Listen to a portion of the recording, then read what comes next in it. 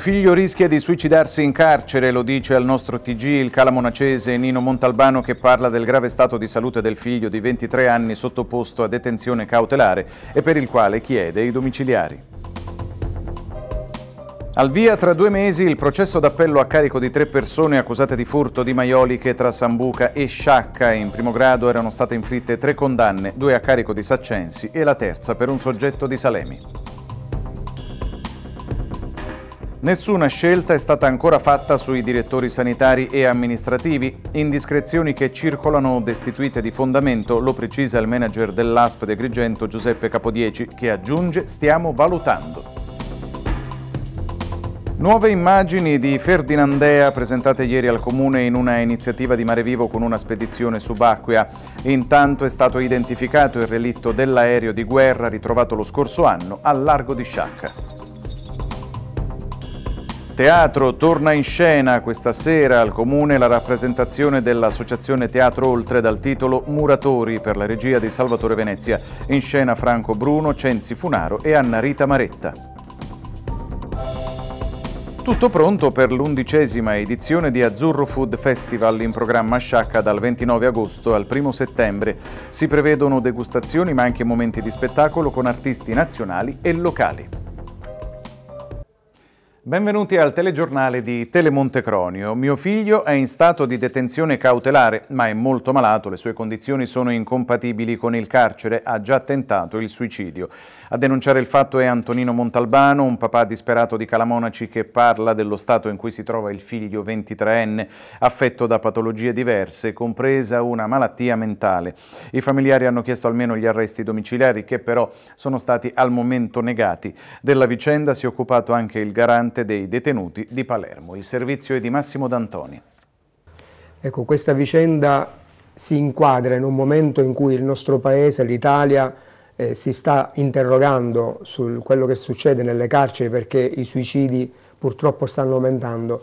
È vero che lei teme che suo figlio possa suicidarsi? Mio figlio ha già tentato il, il suicidio e l'ultima volta che, che l'ho visto mi ha detto papà io non ce la faccio più a resistere a questi dolori atroci perché se lo stanno mangiando. Mio figlio ha un tumore in testa, all'ipofisi e mio figlio è come una candela, si sta spegnendo e si sta consumando giorno dopo giorno non è che dobbiamo aspettare che muore e poi facciamo scandalo. Parla così oggi al nostro telegiornale Nino Montalbano, papà di un ragazzo di 23 anni che si trova in carcere tuttora sottoposto ad una detenzione cautelare per una vicenda che lo vede accusato di tentato omicidio. Si tratta di un giovane gravemente ammalato, affetto da diverse patologie a partire dalla sindrome di Cushing che genera diverse anomalie cliniche causandogli tra le altre cose anche una riduzione del tessuto muscolare ed osseo. Quando è stata l'ultima volta che lei ha incontrato suo figlio? Diciamo una settimana fa. In carcere a Sciacca? In carcere a Sciacca, sì. E come può dire come l'ha trovato? Guarda, eh, mio figlio era 110 kg di muscoli perché è stato sempre uno sportivo. Cioè, se no sarà 70 kg. Cioè, questa malattia, la sindrome di Cushing, gli sta mangiando tutte le ossa, i muscoli, i polsi gli sono diventati piccolissimi, le mani come un bambino. Altri problemi riguardano questo giovane anche di tipo mentale, essendo affetto anche da psicosi ossessiva grave, tutte patologie che riducono le difese immunitarie del ragazzo e che gli sono state regolarmente diagnosticate da medici e cliniche rinomate, tra cui il Neguarda di Milano. La famiglia, sulla base di questi pareri scientifici, ritiene che la detenzione sia incompatibile con lo stato di salute del ragazzo, perché i piani terapeutici che comprendono anche un'alimentazione specifica in cella non gli possono essere somministrati. Perché mio figlio ha bisogno di mangiare ogni tre ore e avere una dieta particolare iperproteica, cosa che non può fare in carcere. Non gli danno le proteine che ha bisogno e non gli danno neanche la cura che lui è stata diagnosticata, che sarebbe cormeto e 2,50. Non ha difesa immunitaria e va incontro a altre malattie. Lui ha una psicosi ossessiva grave dove gli è stata riconosciuta nel 2018, ha una pensione di invalidità dell'80%, non a revisione la pensione, vuol dire che questo male non può mai guarire, può solo peggiorare. E di conseguenza la famiglia del giovane contesta il no opposto alla richiesta di concedere al figlio una misura cautelare meno afflittiva come potrebbero essere gli arresti domiciliari. Non è che mio figlio sta fingendo perché si trova in queste situazioni e loro lo trattano in carcere come se fosse un detenuto normale. Mm. Non tengono conto che il ragazzo è ammalato. Questa vicenda si inserisce nel dibattito in corso sull'escalation di suicidi in carcere. Prima che a Sciacca il giovane era rinchiuso al Pagliarelli di Palermo, ad interessarsi della sua vicenda è stato anche il garante dei detenuti Pino Apprendi, che così alla testata giornalistica regionale della Sicilia ha commentato la vicenda. Ho scritto al direttore sanitario per sapere intanto uh, sulle cure che lui stava facendo e poi ho chiesto effettivamente se lui eh, poteva fare la detenzione visto il suo stato di salute. Devo dire che oggi sono passati quasi un mese e non ho ancora ricevuto risposta. Vengo da sapere che è stato trasferito in quel di Sciacca e io mm, so per certo che a Sciacca non c'è un reparto di psichiatria. Si può dire che la sua vita in questo momento sia esclusivamente dedicata alla vicenda di suo figlio? Per me è finita. Per me, io so che mio figlio diciamo, si scioglie come una candela e da un giorno all'altro per me la vita è finita, a casa mia non c'è più pace, mia moglie sta impazzendo, stiamo impazzendo tutti. Cioè io, eh, se lei è un genitore, penso che mi potrà capire. Momenti di panico all'interno della stazione di servizio di via Lioni a Sciacca dove un'autovettura ha urtato il bombolone contenente il gas per auto. Molto probabilmente non erano stati azionati bene i freni o inserita la marcia. La vettura, senza conducente a bordo, ha percorso alcuni metri senza controllo finendo la sua corsa contro la colonna della distribuzione del gas. Gli agenti della Polizia di Stato sono intervenuti immediatamente deviando il traffico e delimitando la zona. Sul posto anche i vigili del fuoco per accertamenti mirati a verificare che non ci fosse fuga di gas. La colonna del gas per fortuna non ha subito danni e il traffico è stato ripristinato. Al via il prossimo 21 ottobre il processo di appello a carico di tre imputati coinvolti nell'inchiesta su una serie di furti di maioliche del XIX secolo messi a segno tra Sambuca di Sicilia e Sciacca. In primo grado il GUP Stefano Zammuto aveva disposto tre condanne, due anni e otto mesi di reclusione per Vincenzo Di Benedetto, 72 anni, e Marco Gambino, 35 anni di Sciacca, tre anni e due mesi di reclusione per Giuseppe Mancia, 41 anni, di Salemi. Secondo l'accusa, che però ha retto soltanto in parte al vaglio processuale, i cinque avrebbero fatto parte di un'associazione specializzata nei furti di pregiate maioliche per pavimenti prodotte tra la fine dell'Ottocento e l'inizio del Novecento da diverse scuole siciliane di ceramica. L'attività investigativa, diretta dalla Procura della Repubblica di Sciacca, prende le mosse dall'arresto a Sambuca di Sicilia da parte della locale stazione Carabinieri di alcuni appartenenti al gruppo criminale, sorpresi nel febbraio del 2022 mentre rubavano da una villa disabitata numerose maioliche e consentiva un'analisi mirata di alcune denunce di eventi simili presentate dai proprietari di diverse abitazioni di vecchia costruzione, per lo più disabitate, ubicate nelle province di Agrigento e Trapani.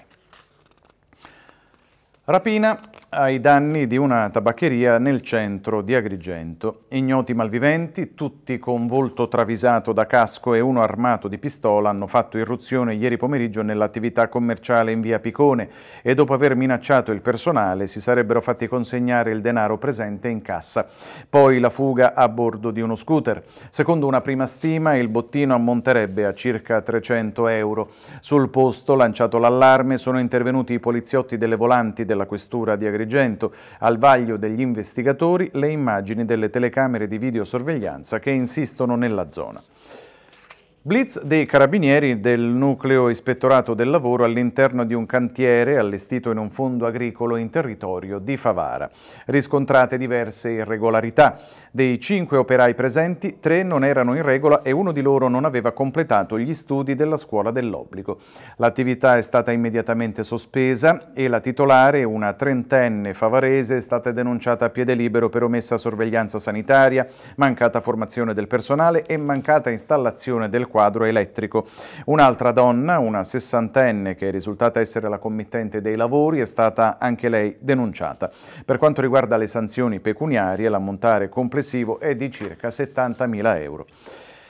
Un festino in una villetta a San Leone con musica, tutto volume, alcol e anche cocaina è stato interrotto dalle forze dell'ordine alle prime luci del mattino. Polizia e carabinieri sono intervenuti sul posto in seguito alle segnalazioni dei vicini che non riuscivano a chiudere occhio nel bel mezzo della notte. Le forze dell'ordine sono così entrate nella villetta di proprietà di un imprenditore agrigentino. Almeno una ventina di giovani che stavano partecipando al, pa al party tra cibo, alcol e droga. Uno dei ragazzi è stato sorpreso a sniffare cocaina in auto e per questo motivo è stato segnalato alla prefettura in qualità di assuntore di stupefacenti. Al vaglio anche la posizione del figlio del proprietario della villa che potrebbe dover rispondere di disturbo della quiete pubblica. Cambiamo argomento, nessuna scelta sui nomi dei nuovi direttori sanitario ed amministrativo è già stata compiuta presso l'azienda sanitaria provinciale di Agrigento. Lo precisa il direttore generale dell'ASP di Agrigento a proposito di indiscrezioni che circolerebbero da giorni sui possibili nomi dati come certi, come per esempio quello del dottor Ennio Ciotta, già direttore sanitario del presidio di Sciacca come possibile nuovo direttore sanitario aziendale. Vorrei precisare, dice Capodieci, che ogni iniziativa orientata verso nomi di vari professionisti già individuati risulta ad oggi destituita di ogni fondamento. In atto la direzione generale è impegnata in un'attenta valutazione dei curricula dei possibili candidati insieme a una ricognizione preliminare sull'eventuale disponibilità ad assumere gli incarichi che avranno l'obiettivo di contribuire alla crescita della qualità dell'offerta sanitaria in provincia di Agrigento. Al termine di questa operazione di discernimento, condotta in piena autonomia, precisa a Capodieci, sarà mia cura definire le assegnazioni e individuare i nominativi nel categorico rispetto dei tempi fissati dall'assessorato regionale alla salute. Ricordiamo che entro il 2 settembre i manager delle ASP dovrebbero nominare direttori amministrativi e sanitari. Entro l'anno partirà il rifacimento di tutta la rete idrica di Agrigento. Abbiamo già finanziato l'opera attraverso l'accordo di coesione, ma per accelerare i tempi il mio governo provvederà ad autorizzare un'anticipazione delle risorse e partire subito con i lavori. Lo ha detto il presidente della regione siciliana Renato Schifani, intervistato dalla TGR Sicilia. Io, ha poi aggiunto il governatore, sto con il nostro capo della protezione civile Salvo Cocina che correttamente sta eseguendo il suo mandato. La legge individua nei sindaci infatti i primi responsabili di protezione civile sul territorio e sono certo che i primi cittadini non si tireranno indietro. Sono loro, aggiunge Schifani, che devono individuare i pozzi anche se poi magari sarà la regione a, eseguire i lavori. Per questo motivo non ho condiviso la posizione del sindaco di Agrigento. Per la sede provinciale di Agrigento del Codacons sono da considerarsi illegittime e di conseguenza nulle le deliber deliberazioni dell'ATI, Assemblea Territoriale Idrica di Agrigento.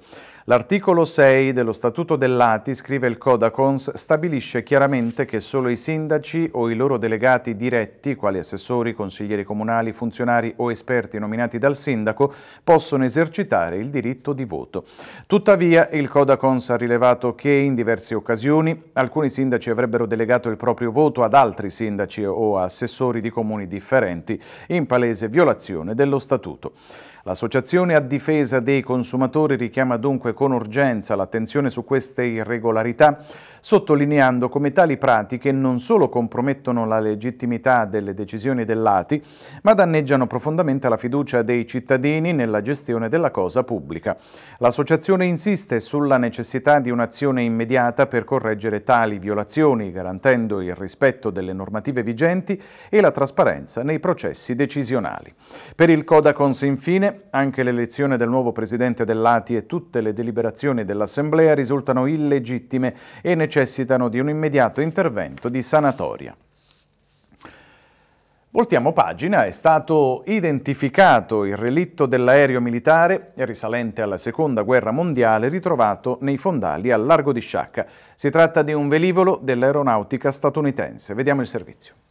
Dopo una serie di indagini è stato identificato il relitto di un aereo ritrovato in mare nel 2023 al largo di Sciacca. Gli accertamenti portati avanti con la supervisione scientifica della Soprintendenza del Mare e dell'Assessorato regionale dei beni culturali hanno permesso di stabilire con certezza che si tratta di un Cortes C-46 Commando affondato durante la Seconda Guerra Mondiale. Il ritrovamento e l'identificazione del relitto del mare di Sciacca, dice l'assessore ai beni culturali Francesco Paolo Scarpinato, è la dimostrazione del prezioso lavoro di ricerca che la Soprintendenza del Mare svolge con tutti i soggetti coinvolti nel campo dell'archeologia subacquea.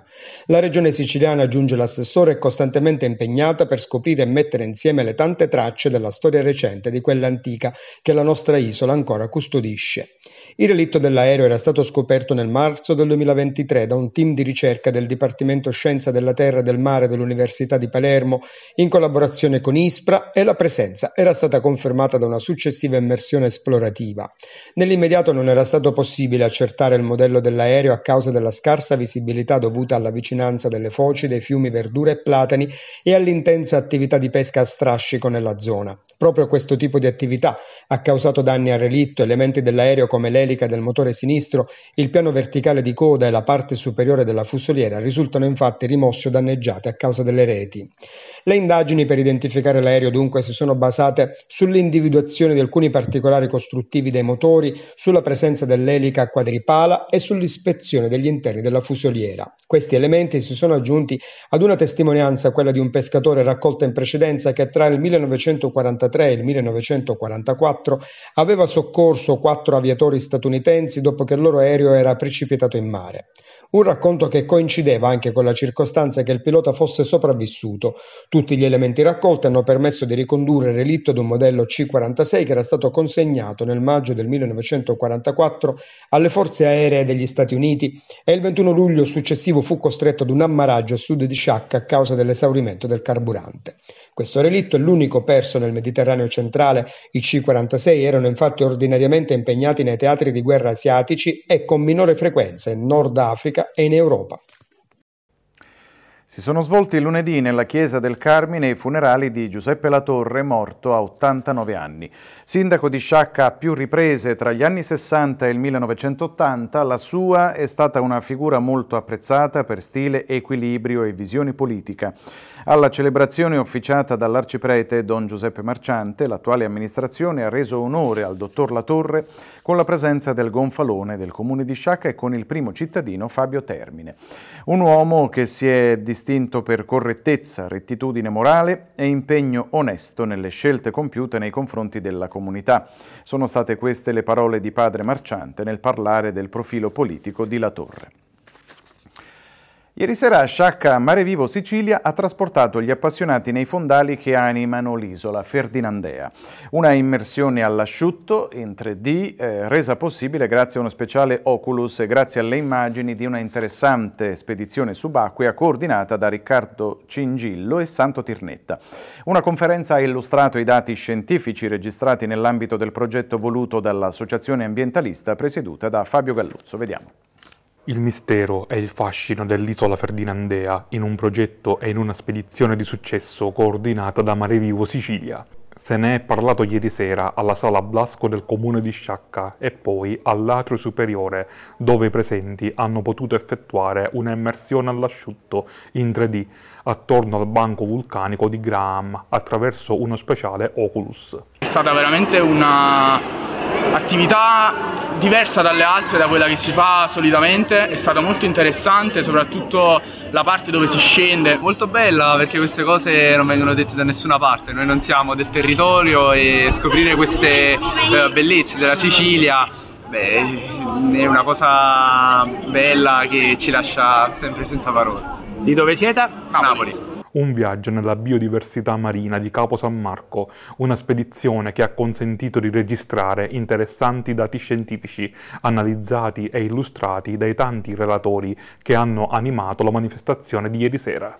Il progetto Ferdinandea l'isola che c'è è un progetto anche questo di educazione ambientale perché eh, vogliamo portare a conoscenza del territorio, eh, soprattutto dei giovani di Sciacca, eh, di, una, di, un sito particolarmente importante, che è quello del, dell'isola Ferdinandea, Ferdinandea eh, nel banco di Gram in pieno stretto di Sicilia, eh, perché siamo sempre convinti del fatto che la conoscenza porta alla tutela del territorio. Ebbene, eh, far conoscere l'isola Ferdinandea non era una cosa molto semplice semplice, anzi veramente molto difficile, però grazie a degli amici appassionati, eh, subacquei, documentaristi, storici, abbiamo avuto la possibilità di fare delle riprese una, um, con una tecnologia particolare che permetterà a chiunque di poter fare un'immersione virtuale.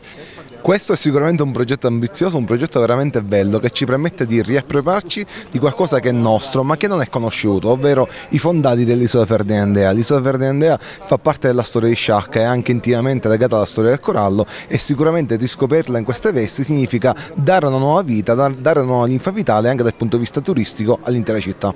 L'importanza dei fondali dell'isola Ferdinandea, l'isola che non c'è, ora, oggi la chiameremo l'isola che c'è, è fondamentale per un discorso particolare che è quello di una zona vulcanica, quindi stiamo parlando di un evento che potrebbe, chi lo sa, anche ritornare a essere attuale quanto, quanto prima questo non lo possiamo sapere, eh, ma quello che a me preme di più è la bellezza che si è creato lì sotto, quindi si è creato un ambiente unico, particolare, forse unico nel suo genere perché appunto è stato colonizzato da particolari esseri che vivono soltanto in, questa, in questo tipo di, di sabbia lavica come il sargasso che crea delle foreste molto particolari e che tende appunto a dare più un'atmosfera particolare, più buia, che, che rende questo, queste immersioni sempre molto affascinanti. E abbiamo utilizzato sei camere da presa, qualche anno fa abbiamo avuto questa idea, quindi l'abbiamo portata avanti, abbiamo costruito una custodia per queste sei camere da presa e l'abbiamo portata sott'acqua. E da lì ci siamo resi conto che puoi sviluppare queste immagini immersive in 3D 360, perché? Perché voi pensate che sono tre, sei ottiche e quindi praticamente queste ottiche si accavallano, quindi oltre a fare il 360 gradi e quindi ti sembra di stare sott'acqua, in più dato che le ottiche si accavallano tutte e sei, ovviamente ti fanno pure la profondità di campo e quindi ti fanno le immagini in 3D. Quindi un 360 3D immersivo per far rendere conto alla gente e toccare con mano la biodiversità sott'acqua dell'isola Ferdinandea. L'iniziativa di oggi si inquadra in quelle che sono le attività di educazione ambientale di Mare Vivo. E lo spunto ce lo ha dato il progetto Corallo, è un progetto del programma europeo Interreg eh, che ha praticamente effettuato con questa tecnologia avanzata in 3D le riprese di alcune aree marine protette siciliane. Siccome la bellezza dell'isola Ferdinandea non ha niente di meno rispetto a delle aree protette e auspichiamo che proprio dalla visione di queste bellissime immagini eh, possa anche iniziarsi un percorso per proteggere questa parte del territorio, Diciamo che uniremo alle proposte didattiche di Mare Vivo, di educazione ambientale che promuoveremo presso le scuole non solo di questo territorio ma anche a livello nazionale, proporremo la visione dell'isola Ferdinandea. E si è conclusa ieri sera alla Badia Grande la rassegna dedicata a Pietro Germi nel cinquantenario dalla morte, dopo la presentazione del libro di Sebastiano Gesù sulla produzione cinematografica siciliana di Germi, in Arena Giardino è stato proiettato il film Il cammino della speranza. La manifestazione avrà un appendice a fine settembre, vediamo. Erano stremati, ma il loro passo era vivace. Davanti a loro più non c'era l'aspra, paurosa montagna, ma un facile e aperto declivio, dove la loro speranza e le loro illusioni scivolavano dolcemente. Con la proiezione nell'Arena Giardino della multisala Badia Grande de Il cammino della speranza, film girato a Favara nel 1950 che tratta del tema drammatico dell'emigrazione, si è conclusa ieri sera la rassegna organizzata da Sino Caracappa e patrocinata dal comune di Sciacca con la collaborazione della libreria Ubic dedicata alla figura di Pietro Germi nel cinquantesimo anniversario della sua morte. La serata è stata introdotta dalla interessante presentazione del libro dal titolo Pietro Germi il siciliano del 2014, scritto dal catanese Sebastiano Gesù Critico cinematografico e storico del cinema italiano morto nel 2018. Un libro che oltre alla presentazione del regista Pasquale Scimeca contiene anche una prefazione firmata da Sino Caracappa. A parlarne sono stati Ivan Scinardo, direttore del Centro Sperimentale di Cinematografia di Palermo, e il cineasta Carmelo Franco, di professione avvocato. Ad intervistare due ospiti è stato Raimondo Moncada. Conservo gelosamente questa copia che lui mi ha autografato assieme alla dedica che ha fatto a sua moglie Rosa e a sua figlia Chiara. E quindi questo per me è, è, motivo davvero di, di, grande emozione, poi ricordare Sebastiano eh, docente di, di, storia del cinema al centro sperimentale di cinematografia ha significato per me anche eh, immergermi eh, nel, nel, nel meraviglioso mondo del cinema siciliano, dei suoi registi di cui Germi ne è stato assoluto eh, protagonista. E mi imbucavo nelle sue lezioni eh, perché erano veramente dei, dei viaggi affascinanti, eh, ricordo ancora dei, dei, dei capolavori di, di, di, testimonianze su Luchino Visconti, sulla Terra Trema, e poi provate a immaginare, io ho tentato più volte eh, a chiedere a Rosa, alla moglie, di trasferire al centro sperimentale il suo immenso patrimonio fatto di cartoline, locandine, sceneggiature, eh, la sua casa di Santa Venerina in provincia di Catania e eh, potrebbe davvero diventare un museo domani mattina. Pietro Germi che è stato un grande regista italiano. E non solo regista perché eh, era un cineasta completo, lui è stato anche attore, produttore, sceneggiatore, quindi ha ricoperto tutti i ruoli all'interno eh, del, del, mondo del cinema e in questo percorso eh, cinematografico durante la sua breve vita perché sono oggi 50 anni si ricordano la morte del, di Pietro Germi è morto, a 60 anni. è morto a 60 anni esatto e quando ancora avrebbe potuto regalarci tanti, tanti bellissimi film.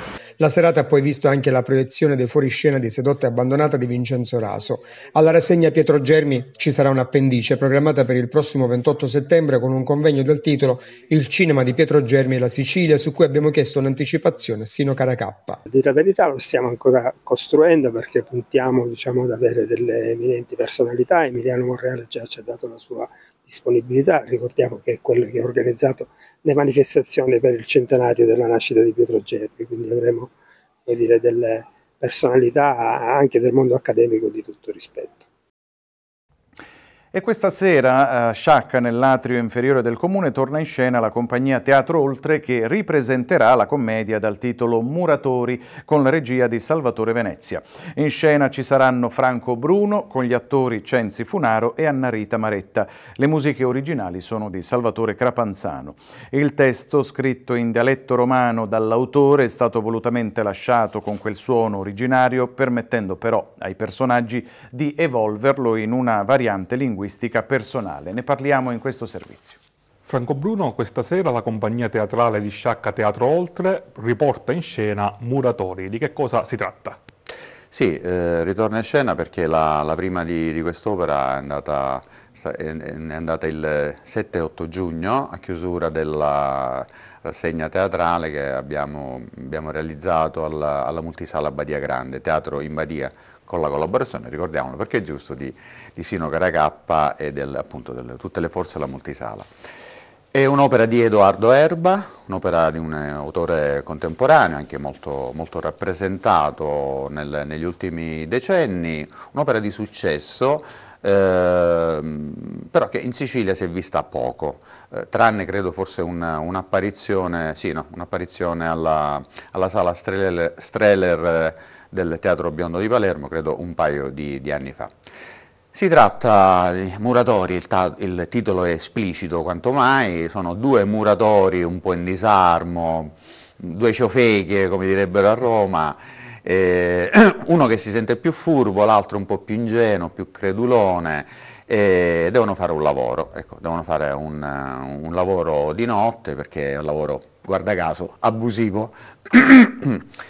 eh, solo il luogo che lo fanno è un teatro e allora in questo incontro casuale, loro non sono dei frequentatori del teatro, però incontrano in realtà, eh, realmente il, il teatro, fisicamente e ne vengono avvolti, coinvolti in, eh, in alcune esperienze anche al limite del, del naturale, quasi sovrannaturale, che potrebbe cambiare le loro vite. È una commedia, per cui già i due personaggi sono una classica coppia dove c'è la spalla e il comico, anzi diciamo che in questo, in questo caso ci interscambiamo i ruoli eh, ne, appunto nei, nei personaggi di, di, di, Fiore e Germano. Poi c'è un terzo personaggio che è Giulia, che è l'abitante del teatro, ma non voglio dire altro perché sennò poi spoileriamo, mh, mm, eh, è lei che crea quelle situazioni un po' strane in cui poi si ritroveranno eh, nel doversi confrontare con loro stessi, con la loro memoria, i due muratori Fiore e Germano.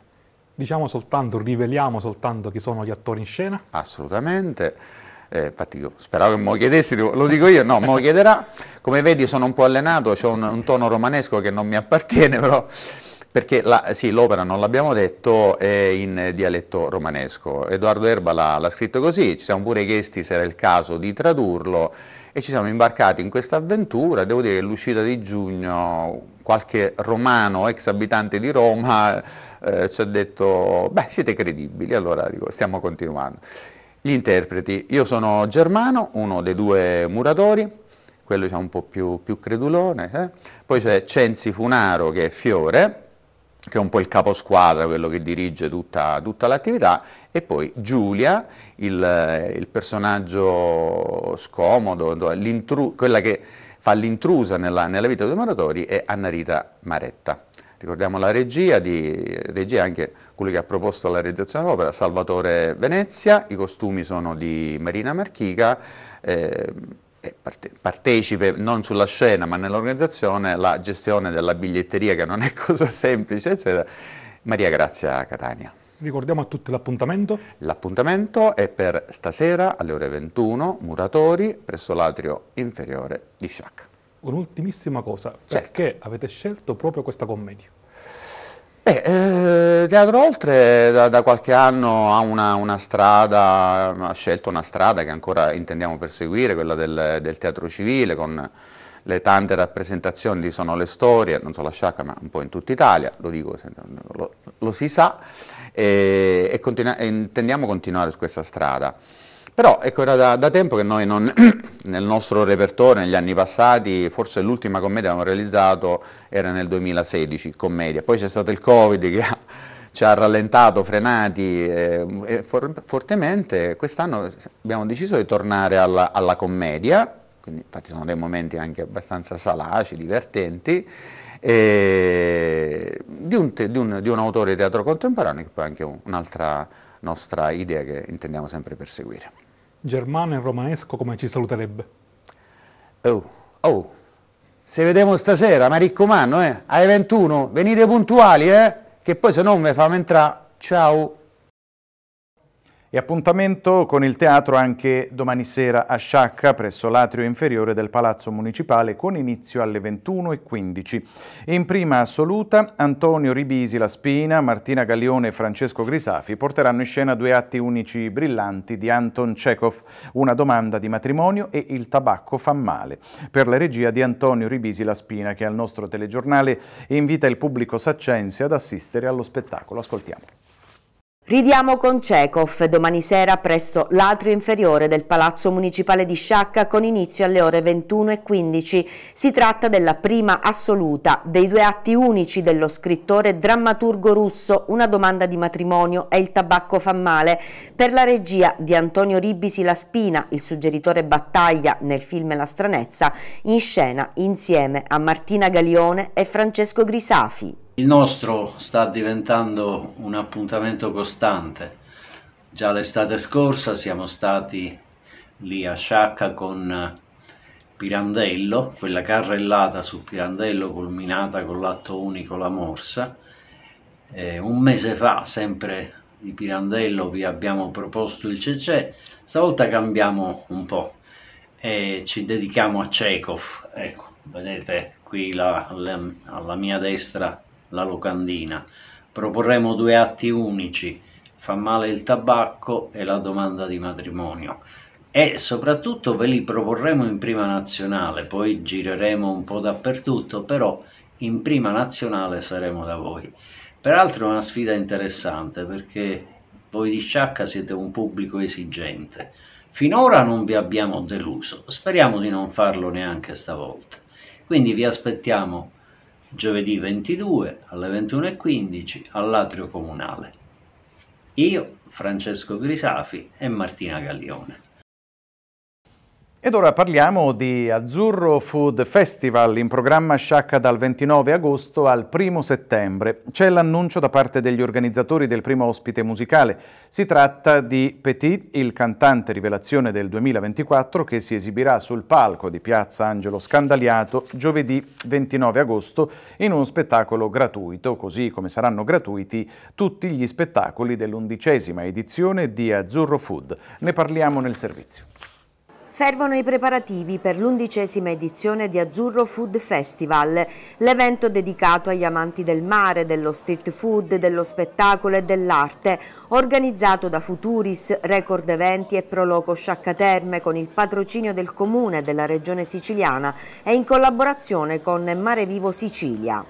Ricco il programma delle quattro giornate in cui ci saranno momenti culturali e gastronomici, degustazioni, talk show, show cooking, expo village, musica e spettacoli. Sarà il cantante Petit il protagonista dello spettacolo musicale che si terrà il 29 agosto sul palco di Piazza Angelo Scandaliato con ingresso gratuito. Petit è il cantante rivelazione del 2024 dopo essersi classificato secondo al talent show Amici di Maria De Filippi ha iniziato a scalare le classifiche con le sue hit Mamma Mi, Tornerai e Guagliò che sono trasmesse su tutte le radio. Dove ci porterà?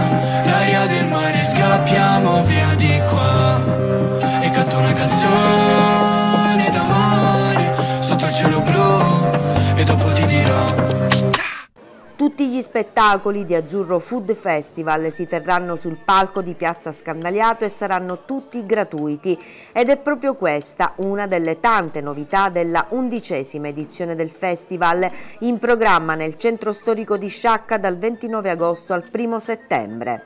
Altra novità sarà la nuovissima area dedicata allo street food che per quattro serate diventerà il più grande ristorante a cielo aperto della Sicilia nel quale si potranno assaporare tantissime delizie sia di cucina siciliana che internazionale, piatti gourmet realizzati con il pesce, sfiziosi street food siciliani, l'irresistibile mondo dei fritti e l'immancabile couscous di pesce, la paella ma anche le sezioni dedicate a chi non mangia il pesce, le proposte vegane, una sezione a base di carne e la bontà dei dolci siciliani.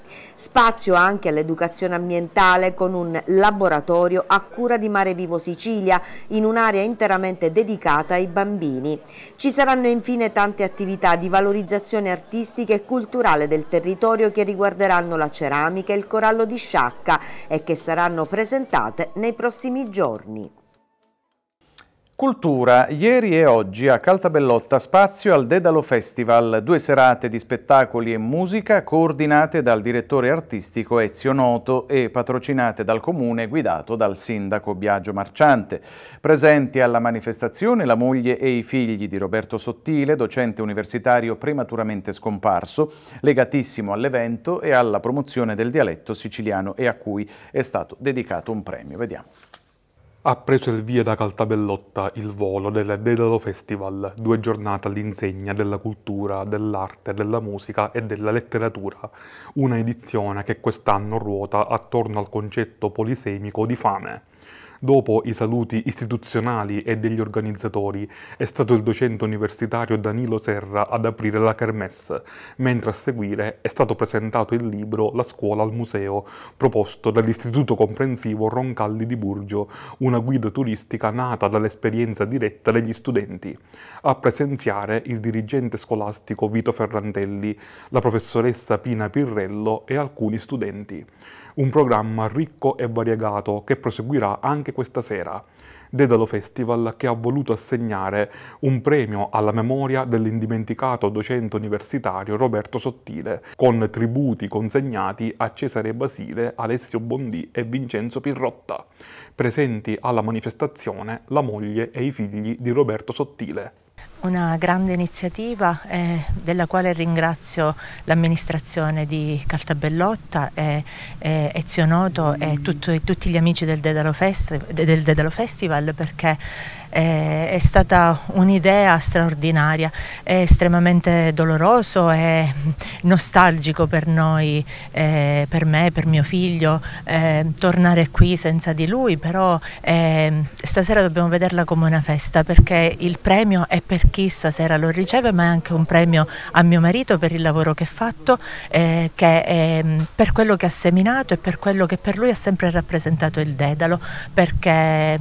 eh, noi siamo stati assidui i frequentatori del Dedalo dal 2012 e l'entusiasmo da parte sua nella partecipazione a questa iniziativa era massima e quindi è una idea straordinaria quella che c'è stata quest'anno di assegnare questo premio e siamo felici di essere qui e di ricordare Roberto anche in questa occasione, in questa maniera. Suo marito era innamorato del Dedalo Festival, del dialetto siciliano sì. e anche di Caltabellotto. Sì, eh, perché mio marito amava eh, la, il dialetto, amava eh, studiare il territorio, conoscere il territorio, farlo conoscere attraverso tutte le sue manifestazioni, prima fra tutte la lingua e, e il Dedalo è stato un'occasione per farlo, non soltanto attraverso la musica ma attraverso tante altre iniziative eh, correlate al Dedalo e dunque il legame era ehm, estremamente forte col Dedalo e con Caltabellotto ovviamente. Eh, ci siamo posti la domanda eh,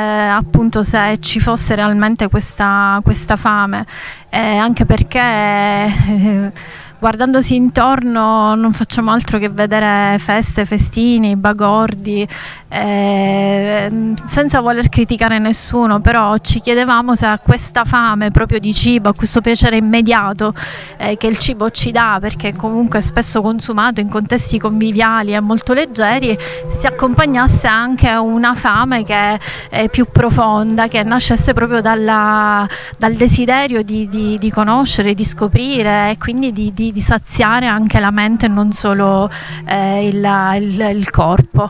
Eh, c'è, questa fame c'è, lo dimostrano tutti gli artisti che sono presenti e saranno, sono presenti questa sera e saranno presenti domani. Eh, quest'anno questa diciassettesima edizione si arricchisce di un premio molto importante che è il premio dedicato alla, al professore eh, prematuramente scomparso Roberto Sottile. Eh, chi meglio di lui insomma, ci ha fatto capire e continua a farci capire l'importanza del dialetto eh, per questo appunto sono stati selezionati tre artisti che hanno posto alla base loro, del loro linguaggio artistico, della loro espressione proprio l'utilizzo del dialetto siciliano. È un appuntamento ormai fisso a cui tutti siamo legati, che aspettiamo e anche se quest'anno rispetto alle edizioni precedenti eh, la, la, manifestazione si consumerà in due giornate, insomma non, non ci lascerà delusi e insomma è ricca di, di appuntamenti. Menzione speciale e attestato oro di riconoscimento per il Rotary Club di Menfi Belice Carboi per aver raggiunto obiettivi concreti per il miglioramento delle comunità, dei territori e per aver aiutato il Rotary a creare speranza nel mondo. A conferire l'attestato che è stato consegnato ieri alla Presidente Margherita Cacioppo a Isola delle Femmine è stato il Presidente del Rotary International per l'anno 2023-24 Gordon eh, McKinley. Gli attestati sono un riconoscimento che premiano l'impegno svolto dal club nel corso dell'anno rotariano. Un anno caratterizzato da tante iniziative a sfondo sociale attraverso le quali, spiega proprio Margherita Cacioppo, i propositi da sempre espressi dal club si sono tradotti in azioni concrete per contribuire ai grandi progetti del Rotary International, tra cui il progetto dei eh, diversità, equità, inclusione, nonché numerose attività di service, cioè iniziative ispirate dalle necessità e dai bisogni del territorio. Progetto Tartarughe del WWF. Nate centinaia di caretta caretta lungo le coste agrigentine. È successo a Licata, a Realmonte e a Menfi, mentre nel territorio tra Torre Salsa, Siculiana e Montallegro si attendono le schiuse da un giorno all'altro. Sono tutti nidi che sono stati monitorati con grande attenzione dai volontari del WWF Sicilia, area mediterranea, ma anche da tanti cittadini. Il servizio. È arrivato il tempo delle schiuse della nascita di tantissime tartarughine lungo le coste agrigentine uscite da sotto la sabbia tutte insieme per raggiungere il mare, la vita e la libertà. È successo a Licata dove i volontari del WWF hanno seguito con attenzione i due nidi, quello di Foce Galline e quello del Pisciotto, con almeno 150 nascite, e a Realmonte dove hanno raggiunto il mare ben 117 tartarughine. Nel territorio di competenza della riserva WWF di Torre Salsa tra Realmonte, Siculiana e Montallegro, con almeno 6 nidi in riserva e altri due nella località di Giallonardo, si attendono le schiuse da un giorno all'altro. Soltanto Soltanto Eracle Amino, Ribera e Sciacca sono rimaste quest'anno senza nidi, mentre il sito di nidificazione di tartaruga marina, scoperto a giugno lungo la spiaggia di Menfi, ha prodotto quasi 100 tartarughine, anche qui sotto la guida attenta dei volontari, non solo del WWF, ma anche semplici cittadini e soci dei club service. Volontari di Menfi che hanno mostrato ancora una volta la maturità di questa comunità nella tutela e salvaguardia dell'ambiente e della sua bellezza. Il progetto Tartarughe del del WWF, autorizzato dal Ministero dell'Ambiente, continua dunque a dare i suoi frutti, portato avanti con passione ed entusiasmo da tanti volontari. E adesso la rubrica Il libro del giorno. A giugno Montepepe si prepara all'arrivo dell'estate. Che camurria!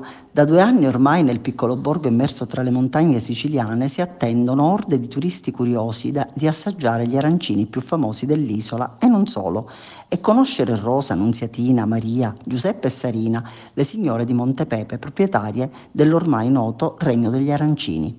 Fra amori finiti, nuove relazioni che stanno per cominciare, partenze, arrivi, delusioni, speranze nel cuore, c'è una novità che le rende elettrizzate e preoccupate allo stesso tempo.